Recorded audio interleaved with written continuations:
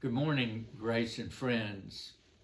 The theme for our Advent season this year is Pilgrimage to Bethlehem. And this week's theme is Journeying.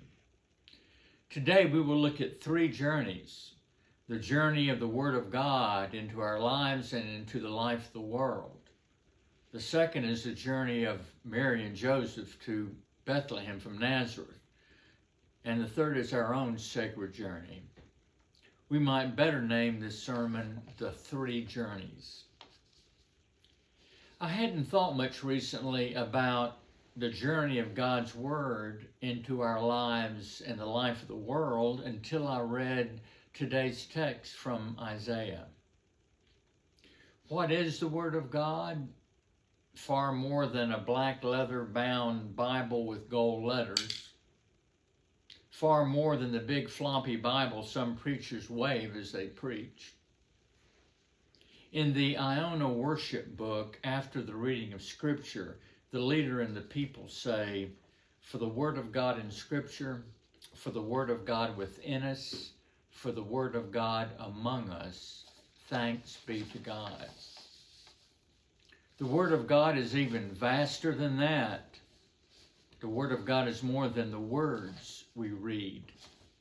It is the very speaking of God, the speaking of God that brought the world into existence.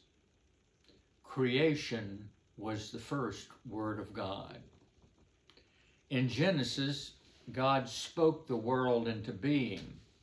First the light, then the day and night, then the sun and moon, then the earth and sea, then the green plants with, which give us food. And then on the climactic sixth day of creation, God spoke humankind into existence. So God created humankind in God's own image. Male and female, God created them. God not, not only spoke the world into being, some days God sang the world into being so that we might hear the music of the spheres, the music of creation everywhere.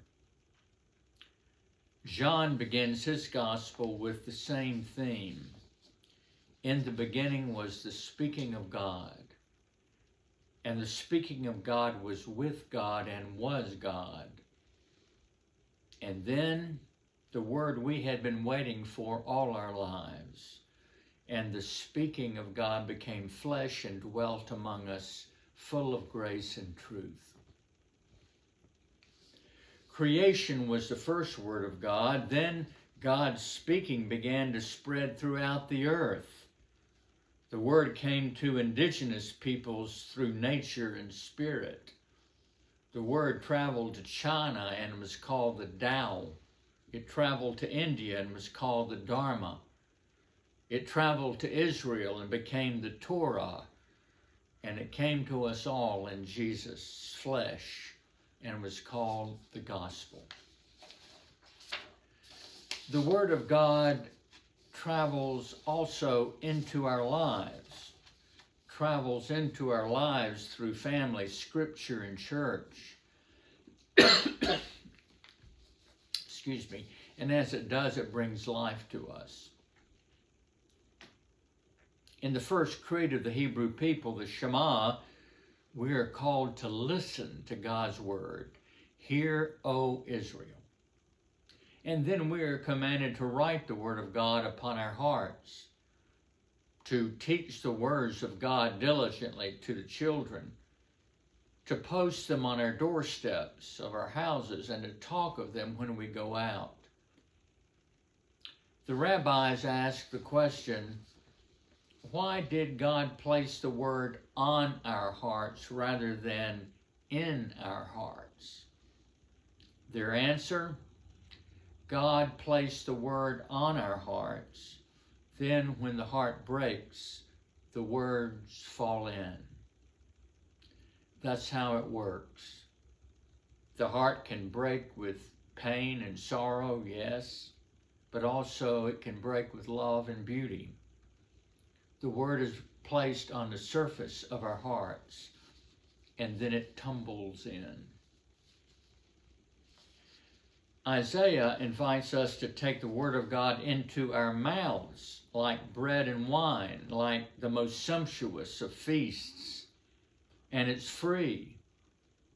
Come ye that have no money, come buy and eat. Why, the prophet asked, do you spend money for that which is not bread? Come to the feast of God's Word, and it's on the house. The prophet also gives us the glorious message that the Word of God, which God sends out into the world, will not fail. As God sends the rains and the snow to water the earth so that it bears fruit, so God's word goes out and doesn't return empty. It accomplishes the purposes for which God sent the word. In Leonard Bernstein's Mass, a baritone sings a solo called The Word of the Lord. Some of it goes like this. For the word created mud and got it going. It filled our empty brains with blood and set it flowing. And for several million years, it's endured all our forums and fine ideas. And then the refrains. No, you cannot imprison the Lord, word of the Lord. You cannot scuttle the word of the Lord. You cannot abolish the word of the Lord.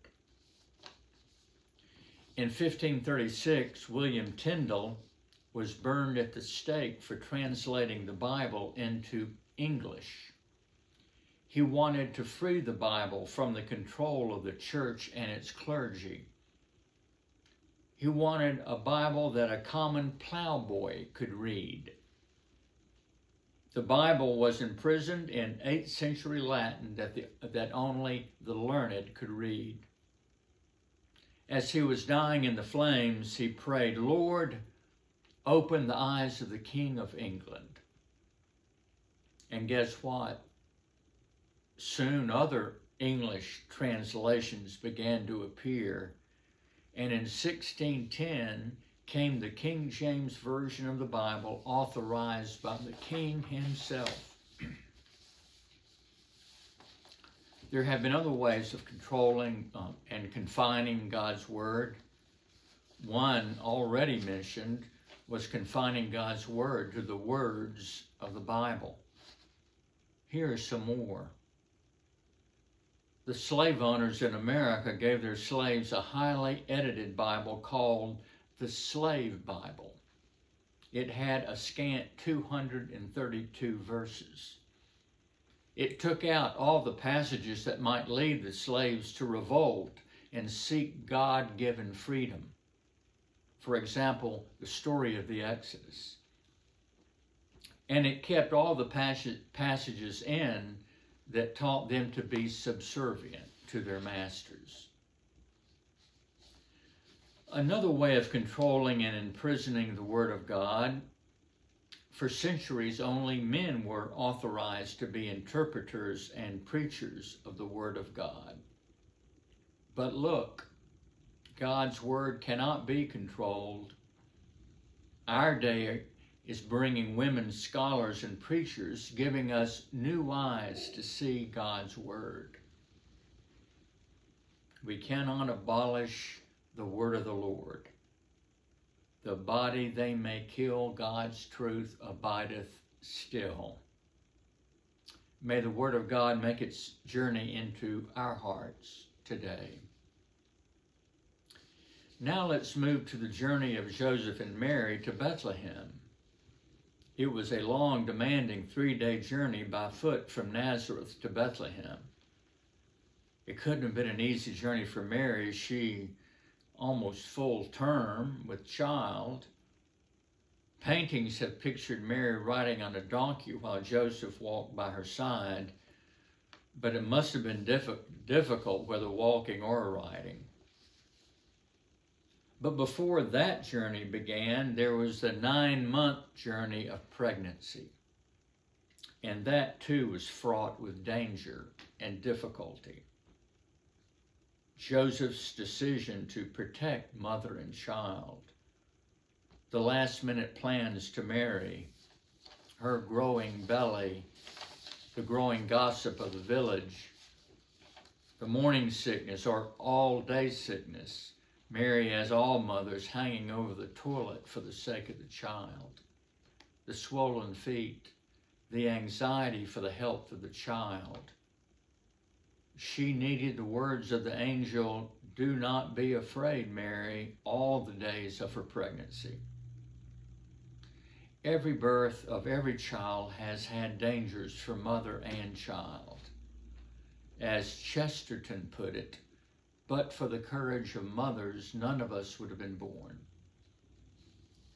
One saving grace was her friendship with her older cousin Elizabeth, someone she could talk with when she couldn't talk with anyone else. One hopes Joseph had a friend as well. On our journey through life, we cannot make it alone, though we some days try. Mary and Joseph made it to Bethlehem and came to an inn. Another journey was about to begin. Now let's move to our own journey, our spiritual journey toward God, with God, into God, with Jesus, with Jesus as our guide. It is our own sacred journey toward our true self and toward God. As we arrive at one, we arrive at the other. Part of this journey is listening to your own life as God speaks into your life, not just with words, but with the events of your life. Frederick Buechner says that if he were to say in a few sentences what he has been trying to say through all of his writings as a novelist and preacher, it would be this Listen to your life. See it for the fathomless mystery that it is. In the boredom and pain of it, no less than in the excitement and gladness. Touch, taste, smell your way to the holy and hidden heart of it because in the last analysis, all moments are key moments, and life itself is grace. Our sacred journey is not an easy one, as that of Mary and Joseph. There will be obstacles. We will lose our way. But the words of amazing grace are truth for me through many dangers, toils, and snares I have already come, but grace hath led me thus so far, and grace will lead me home. Sometimes we don't know we've taken the wrong path for a while. I remember hiking in the mountains one day and discovering that I had lost my way. I couldn't see a path. I frantically searched for the place where I had left the path. I did before too long, but I remember the fear of that moment. We may be lost, but God, like the shepherd of Jesus' parable, will come get us and take us home.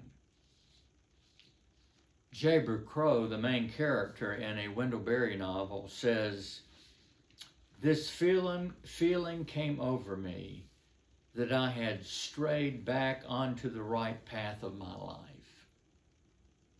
When this happens, we experience grace. We may feel we're just wandering in life, but a Tolkien character says to us this wisdom All that is gold does not glitter, not all who wander are lost. As we listen to our lives, we will look back and see the presence of God with us all along. Times you suddenly found the right path again. Moments of truth and beauty and love. Times you were saved from injury or illness or death. Times when sin became, by the grace of God, the occasion of grace. Times when you were loved back to life Deep sea divers tell of descending into the depths of the sea and reaching a point where the light on the surface, surface no longer penetrates the darkness of the water.